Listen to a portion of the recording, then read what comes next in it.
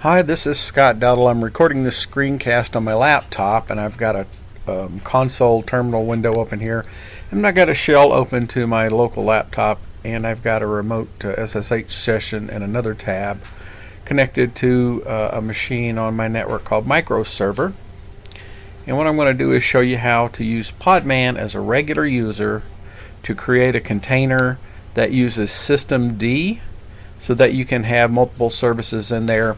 I'm going to install a desktop environment and quite a bit of desktop software as well as uh, MariaDB and the Apache web server and show you how all that can work. Um, so before you get started you need to install Podman on the system that you're going to be working on.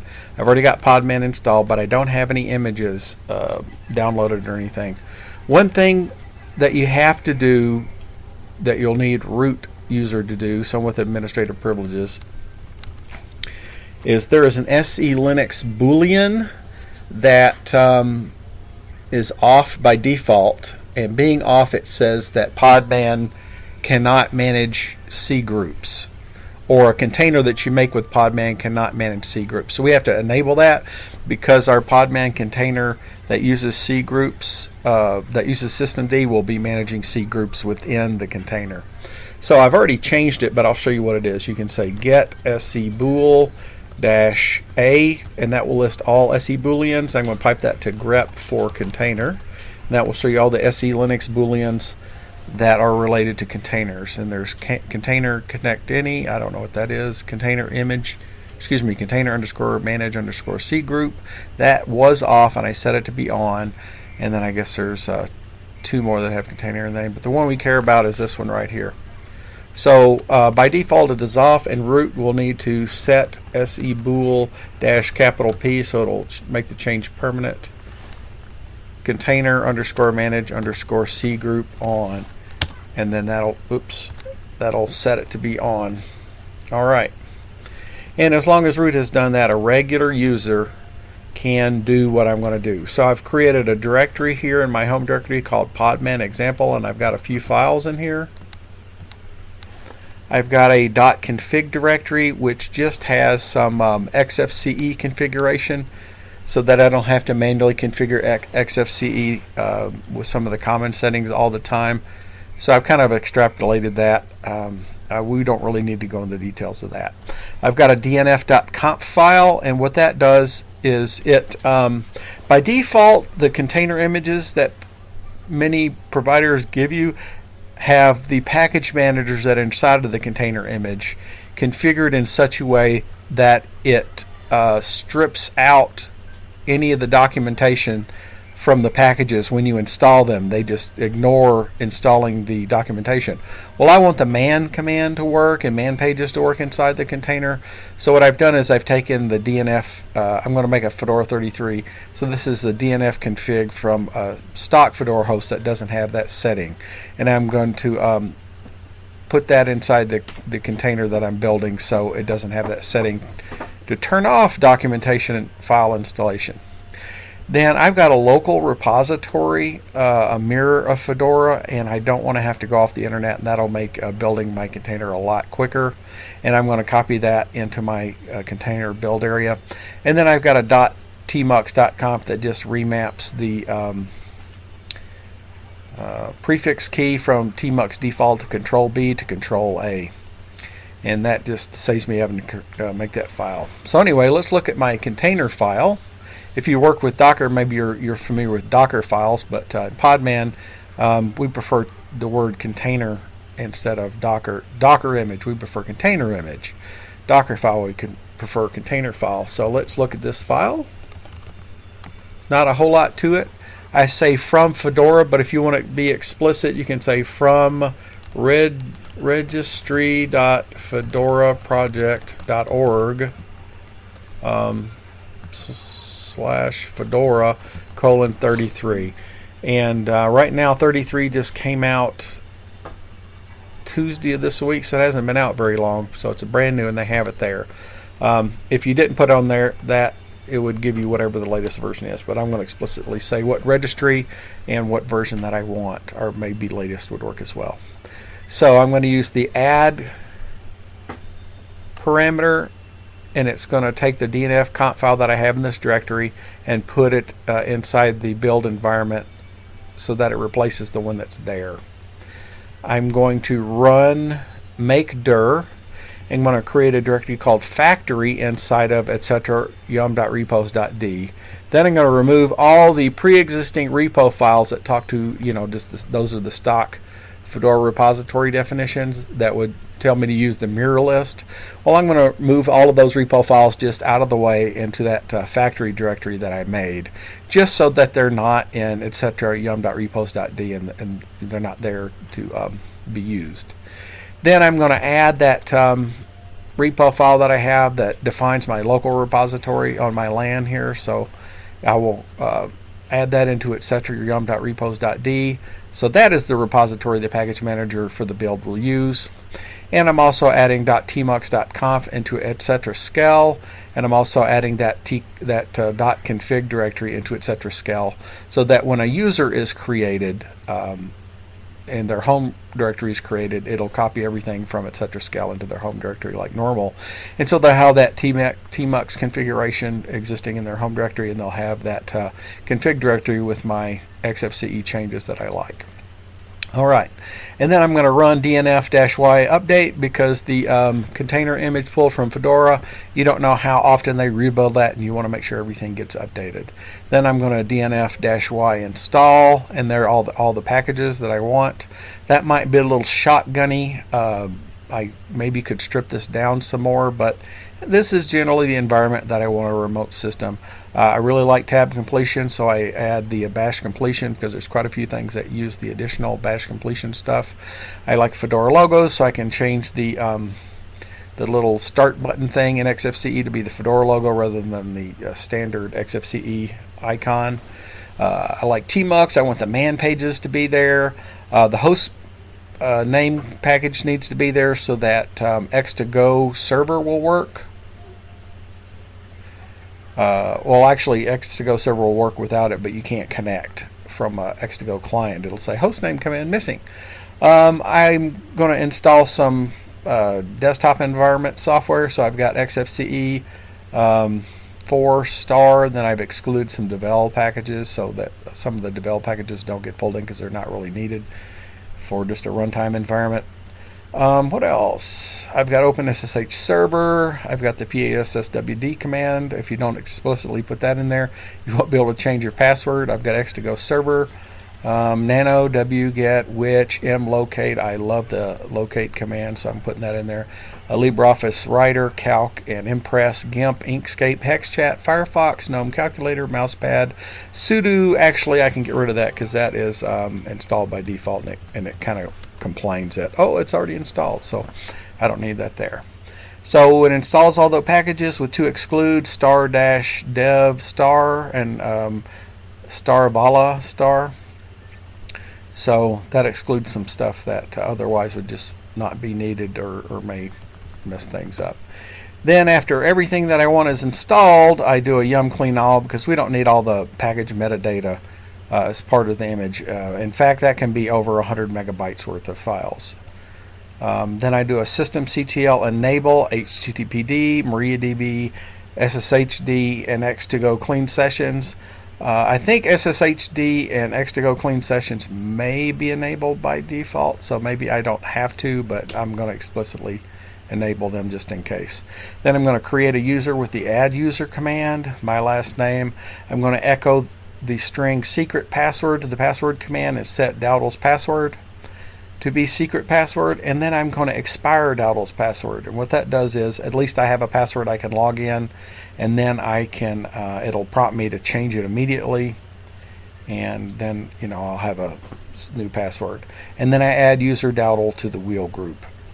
And then since I am running SSHD um, OpenSSH server. I want to expose ports 20, and this is I want to run a HTTP server Apache. I want to expose port 80.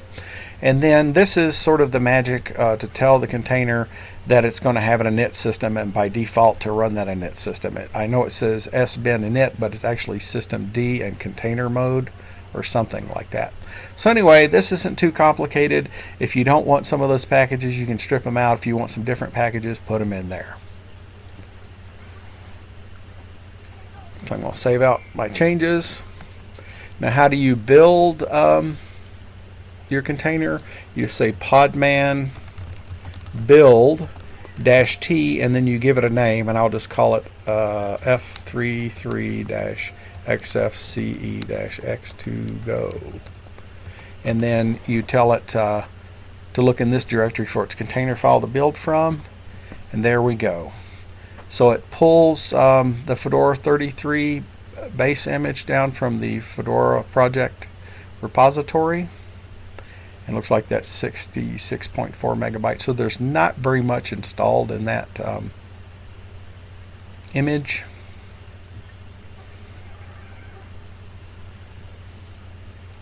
It adds my DNF conf file to overwrite the one that strips out, uh, has the config option to strip out the uh, documentation.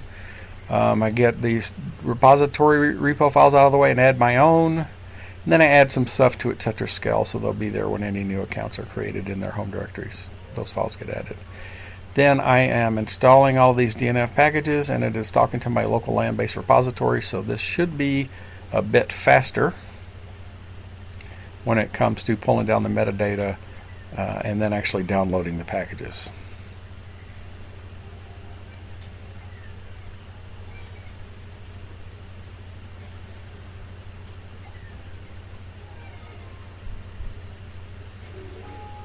And it takes a little while to process like 60,000 packages worth of metadata so that's why it's kind of sitting there. Fedora offers a whole lot of packages. That the noise here in the background is my son playing Pikmin 3 Deluxe on the Nintendo Switch.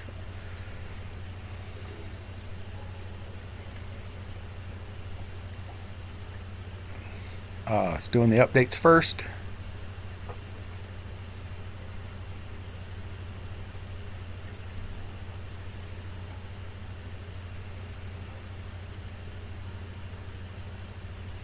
Now it's, it's uh, downloading all the packages that I asked for and all of the dependencies that are required because you know my list was way less than 690 packages even with um, some of the wildcards I was using. You don't have to explicitly define all the dependencies. That's what your package manager does, figures them all out and installs them for you. So it's downloaded 690 packages, which was uh, 672 uh, megabytes downloaded. I think installed, this is about uh, two gigs worth. So it's going to be a quite a large image, but we do have a lot of stuff in there. We've got XFCE, Firefox, LibreOffice, and um, everything else that I mentioned, including MySQL and Apache.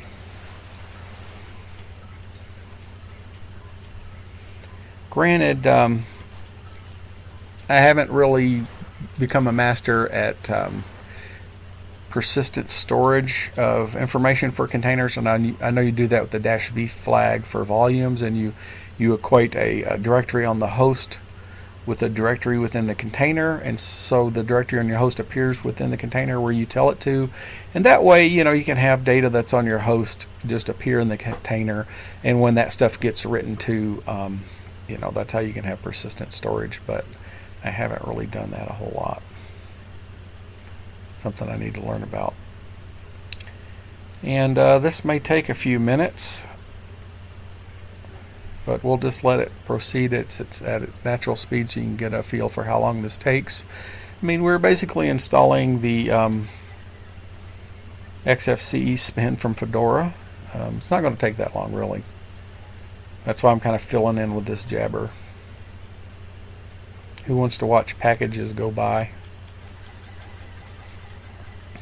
I would pause the thing, but I'm using a, a newer screen recording and I don't have a hotkey set up for uh, pausing it.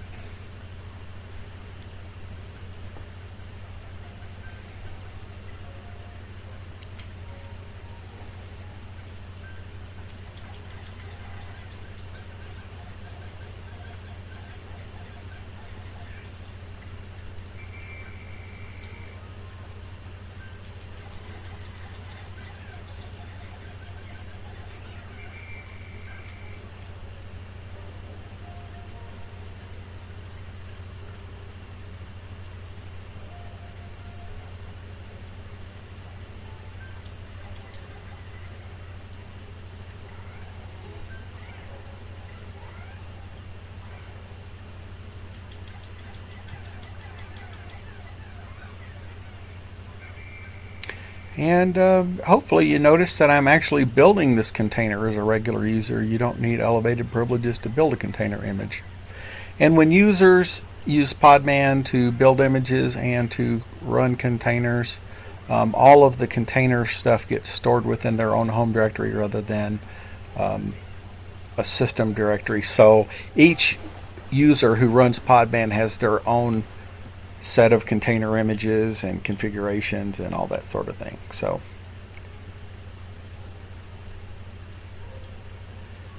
when um, the root user creates a container that goes to the uh, system-wide area. Notice it is installing systemd there.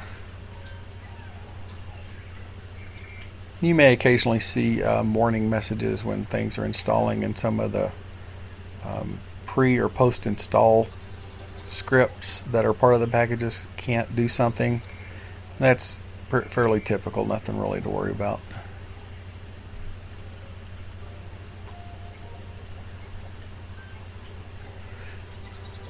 Inside the build environment is not a full uh, system, so some of the things it's trying to do just aren't available in the pre-install and post-install scripts that are part of the packages.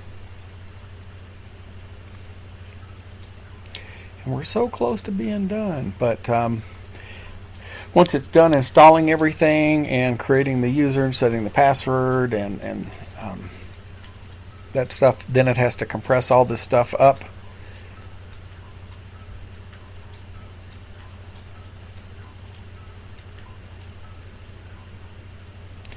Then I'll show you the image with podman images command and then we'll podman run it and I'll map port 22 and port 80 to um, particular to particular ports on this host and then I'll connect to my remote container from my laptop with X2Go. Alright, it's reached the end of installing the packages. It may have a little more uh, scriptlets to process and then it'll go through the verification stage.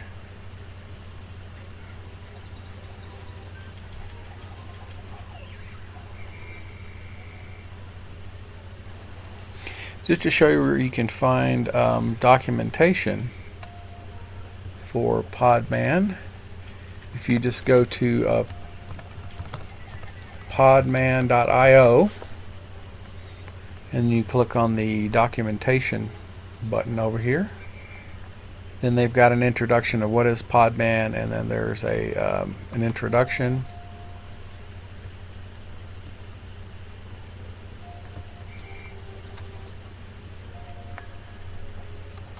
and there's also a commands reference. And uh, so you can check out each one of these. So if you want to know about managing images or um, what are the various parameters when you run podman run? So I'm going to use the dash p flag to map the ports. I'm kind of just wasting time as this thing um, builds it is going to take a few minutes. Um, it's got all the packages installed. It enabled the services that I want. It created the user set the password expired the password and now it's compressing and that's going to take a little bit longer so I'm going to keep showing you here. Let's see. In the run thing um, it's all all these flags are in alphabetical order so if I just keep going down M okay so we're getting close. Or is it at the beginning of the P's? Nope. I think it's port.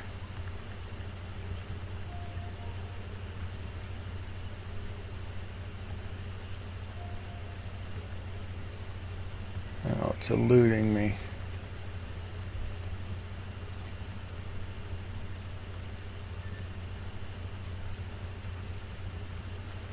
Let's control F and port. Let's put a space before and after. Expose equals port. That's not quite what I'm looking for.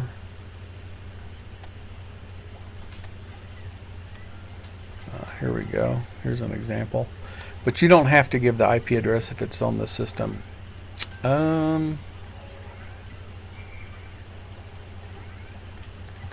about space dash p space?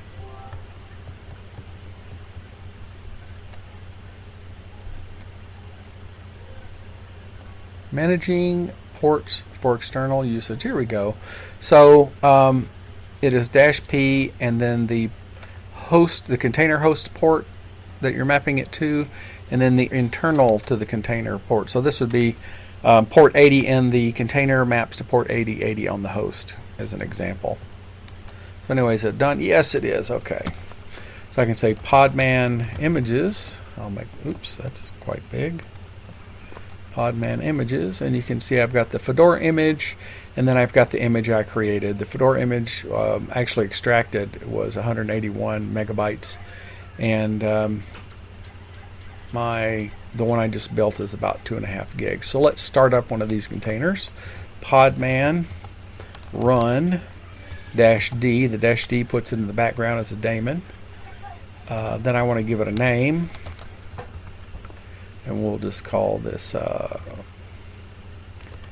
F33 XFCE X2 Go and we want to map port um,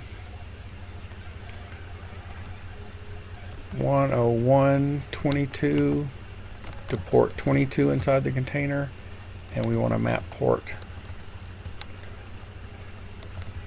101.80 to port 80 inside the container. And what else? Um, then we want to pick the image that we want. And that's the image that we want. And tab completion um, is your friend. All right, I think I've got that all correct. And um, it did start up, but it did it run successfully? If you didn't set that SE Linux Boolean, it'll it'll start and then immediately exit. But after you've set it properly, then you should be able to start the container. So let's say Podman PS, and you can see it started up um, 18 seconds ago. And uh, the reason I picked those particular ports on the host is because I've already opened them up in the firewall on the host. Because I do run firewall D, and I can say firewall dash cmd dash dash list dash all. And you can see I do have port 101.22 open TCP and port 101.80 so I should be able to reach those ports on the remote host. So let's go ahead and go to a web browser and open up a new tab. Actually I don't need this one so I'll say um, 192.168.1.4 colon um, 101.80 so that's what port it is. The remote system, that's the IP of my local area network. And so I got the Fedora test page. And now um, I'm going to open up a new tab in my terminal emulator program, make the font a little bigger. Sign. There we go. Yes, okay. And since I told it to expire my password, once I type this in there, it's going to ask me to um, put it in again and then change it and it was S uh, E C R E T P A S S W R D. All right.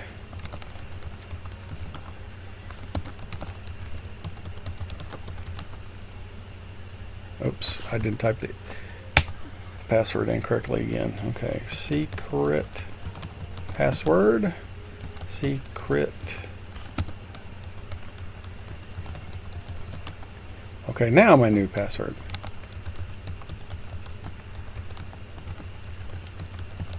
Of course, you could use SSH keys if you wanted. So now I can SSH in with a password you don't know because I didn't tell you what it was. And um, I've got the PS tree command installed, so I'm going to show you all the processes. So I've got systemd running inside of this container. It's got a journal. It's got systemd resolve D, which was part of Fedora 33, something new in their release. It's got the Apache web server and all of its child threads. It's got um, systemd home D, login D, X2Go session. There's my SSHD server. It's got MySQL And so far, it doesn't have any kind of graphical stuff running because I haven't connected to it graphically. Um, let's see how much resources. All the RAM you see here, this is on the host itself because I haven't uh, restricted the memory use inside the container at all. So it sees all the RAM on the host and all the RAM being used on the host in the swap. But it is showing the only processes that are running. Um, there's 25. I know you saw a whole lot of um, web server and MySQL processes, but those are all threads. So proper processes, there's only 25 total. Yeah, you can see it fits in almost one screen, so 25 processes. Um, so let's use X2Go and uh, create a new session. Here on my local uh, laptop, I am going to run the SSH client, excuse me, the um, X2Go client. I'm going to define a new session and let's call this um, Podman XFCE System D Container. The host would be the IP address. The login would be the user that I created. But for the port, um, it's the port I'm running SSH on. And that would be 101.22 in this case. And I want to um, use XFCE. And let's go to the connection. I'm on a local area network, but my laptop is connected with Wi-Fi, so it's not super fast, but it should be adequate. And then for the resolution, one, let's say one, 1280 by 700. And X2Go is dynamic, so this is just a starter resolution. If you resize the window, it will resize to match. And um, I'm going to go ahead and say yes, allow sound and local printing. I'm not sharing any folders. And then OK. And so it creates this session, and now I can click on this and I can connect.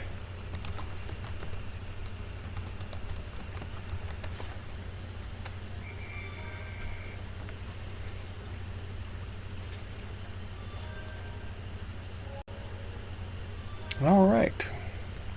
It's firing up the XFCE desktop for me. And this is not what the stock Fedora XFCE looks like. The desktop background is the same, but that's what that con .config directory was. Um, I like the whisker menu. I like having virtual desktops, and this here on the panel.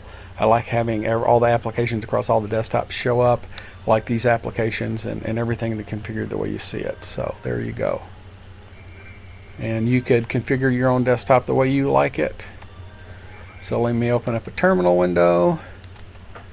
On desktop 2 I'm going to open up Firefox. And I have installed um, uBlock Origin and um, there's uBlock Origin and uh, Privacy Badger.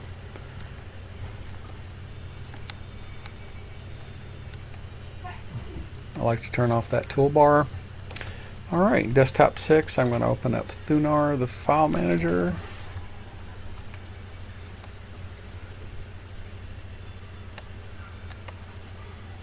And I've got it pre-configured the way I like it and snap it. There we go. So there you go. Let's see how well sound works. I'll just go to YouTube.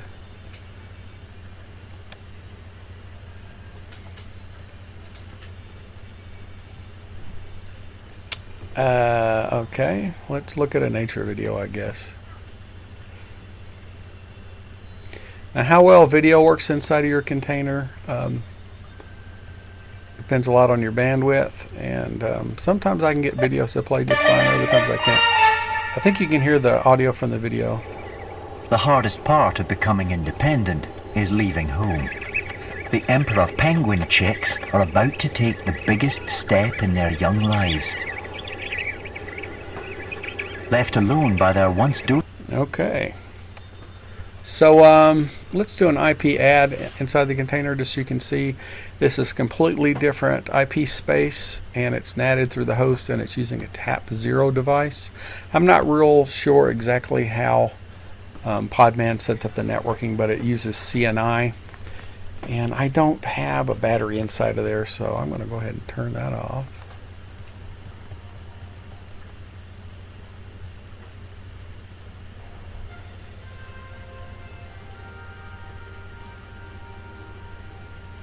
Come on.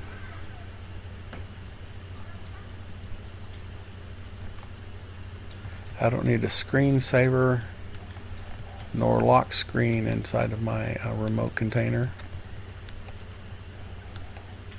Can I turn off the power manager thing on here?